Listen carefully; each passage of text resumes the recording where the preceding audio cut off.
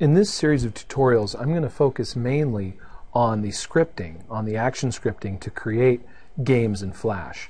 But you are going to need to know some basics about how to create small animations, reusable pieces of animation, and how to bring in assets and graphics, and to create little animated pieces or sprites or characters for your games, right?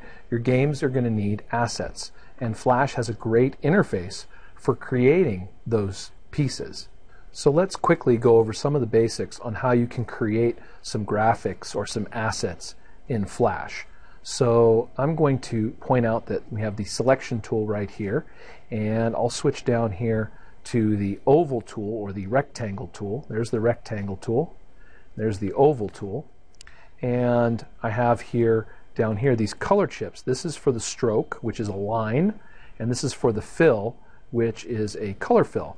And if I draw a oval, an ellipse, or a circle, you can see that the fill is white and the stroke is red.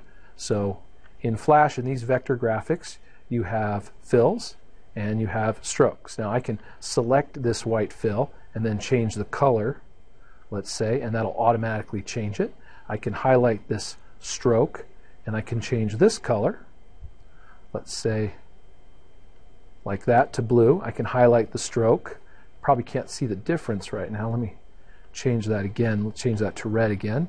And I can change the size of the stroke over here to 4 pixels, hit enter, and now it's a larger stroke. So these are two separate pieces. If I select the inside piece and drag it, you can see it's separate from the stroke. Now, I'll do Control Z to back that up. Now, if you drew your um, ellipse right here or your circle and you didn't get these dotted dots, that might be because, I'm going to stretch this toolbar out a little bit, that might be because you have this check marked, the object drawing mode uh, option. So if I check mark this draw object drawing mode and I draw the circle, you see that the item is grouped inside of a blue box. And that's done so that it's easy to move around and unlike this piece where you can just kind of separate the two vectors, the blue box helps to keep everything kind of in one piece. Now I don't care much for this um, object drawing option. So when I have my oval tool selected or some of these tools, I like to keep this object drawing mode off. And I'm just going to get my selection tool, highlight this, and then press delete on the keyboard. And if I want to group these items together, Control Z, I will double click or click and drag to highlight both pieces, right? And then I'll do a modify, let's say group or something like that. Okay? I can also do a modify break apart and put it right back into just a shape. So these are called shapes, fill, and a stroke. Now, once again, I can switch that, let's say, to the rectangle tool and draw a rectangle and you can see that I have the fill and the stroke. I can change the stroke to the slash here indicating no stroke and now if I draw it you can see it's just a fill right? I'll put that back on a color all right? Also they have the pencil tool. I can take the pencil tool and set the pencil mode to straighten smooth or ink mode. Let's try smooth and I can draw let's say a curved line and it should be smooth and it's fairly smooth. And you can see that this curved line is a stroke right? It's not a fill. So the pencil tool creates strokes.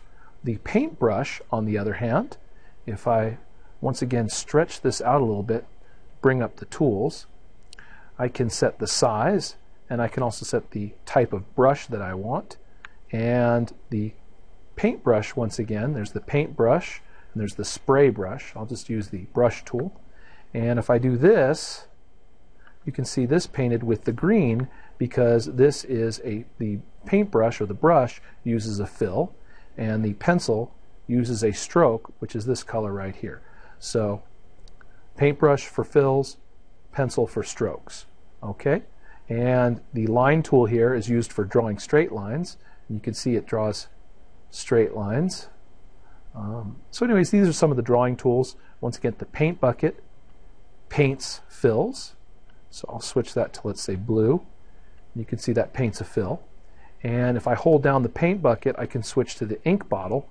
And the ink bottle will basically ink strokes. So I'll change this to, let's say, yellow, and then click on this on the edge right here on the stroke, and you can see I can change the, the color of the stroke. So these are some of the basic drawing tools that you have in Flash. You can also import graphics from, let's say, JPEG images. You can import PNG images. Um, you can import uh, images that have transparent backgrounds or transparency in them, and those will go in the library. So if you're not very handy at drawing vector graphics, which are take a little getting used to, um, you can also import graphics from Photoshop or places like that. Now I will switch back to my black arrow here, my selection tool, and click and drag a large selection box around all of these items and then press delete on the keyboard. I'm also going to select, select the background here or click on the background and change the stage color back to white.